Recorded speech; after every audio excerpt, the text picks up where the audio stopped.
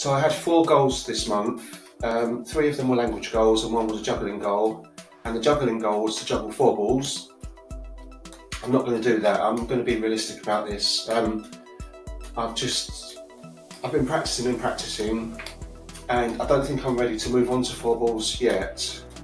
Um, so I need to do more different things with three balls and then um, I can get more sort of developed in my juggling. So that's fine, it doesn't matter because um, you know it's not like I'm going to be using it in my job or, or anything. It's just about personal development really and having goals to develop yourself and keep your mind active. The other thing um, is that I've been I had three other goals which were language learning goals, and in those goals. Um, I've managed to complete the Polish one, so I've made a video of five minutes, that was my goal. And my Polish has really come on this month, so I'm quite pleased with that. Um, the other two languages, Chinese and Kurdish, the, the, Chinese, my level was already not too bad. Um, I don't think I'm going to make a five minute video because I've made loads of videos before in Chinese and um, it's just for myself really to sort of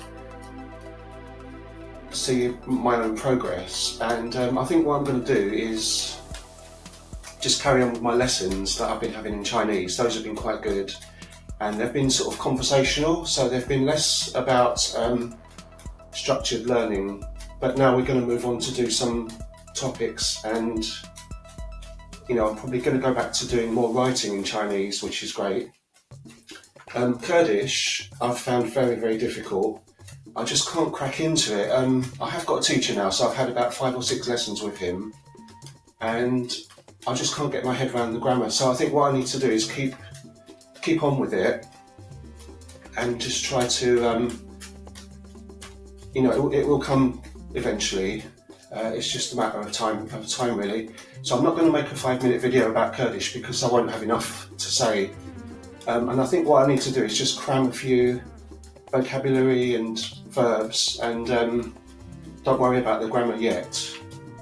Just go back to that when, um, when I've got some a bit more under my belt, you know, um, if you know what I mean.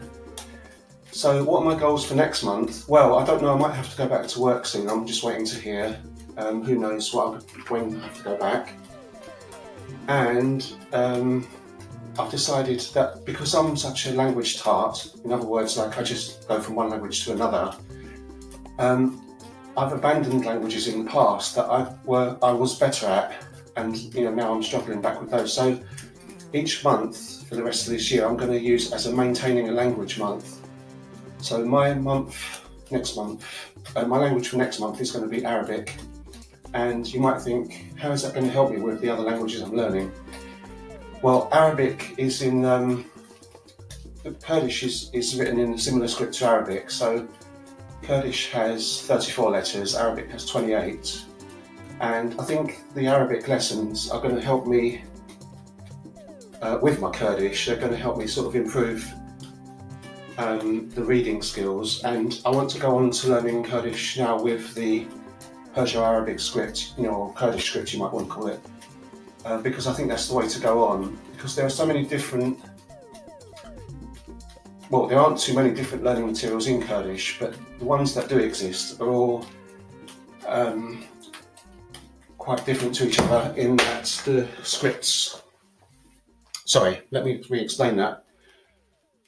All the Kurdish language materials that I've come across that are not in the Kurdish script have funny or different transcriptions to each other. Even my teacher transcribes the letters one way and another book transcribes it another way and even like language learning apps I've tried with uh, uTalk and with Bluebird 163 and there are mistakes in them so it's really difficult um, to find sort of reliable sources with this language um, the other thing is that there are so many different dialects within Sorani so not only is Sorani different to Kurmanji and the other variations of Kurdish. You can't really even call them dialects because they're completely different.